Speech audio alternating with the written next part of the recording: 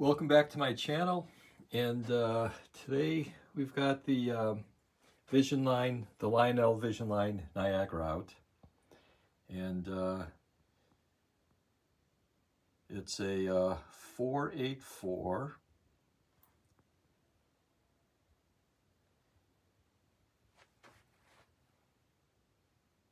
and it was in the uh, Lionel catalog, the 2018 um, version 1 catalog.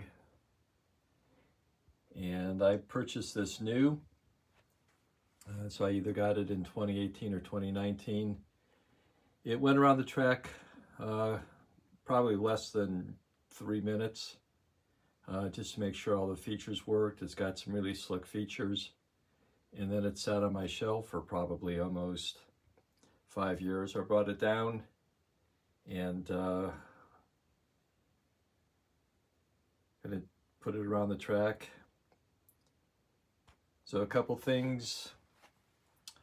Uh, so the engine has obviously smoke out of the stack, out of the whistle, and then it's got uh, pop-off uh, steam out of the pop-off valves. And everything is controlled right here.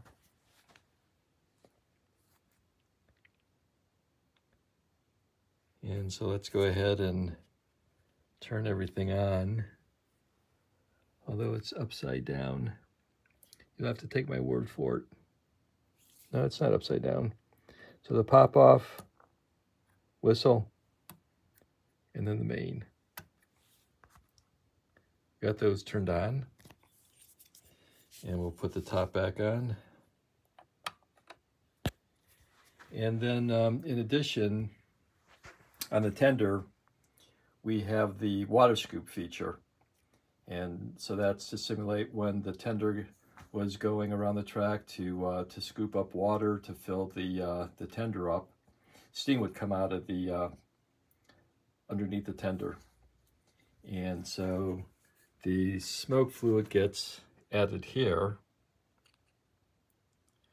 and there's a on off switch, which is right here.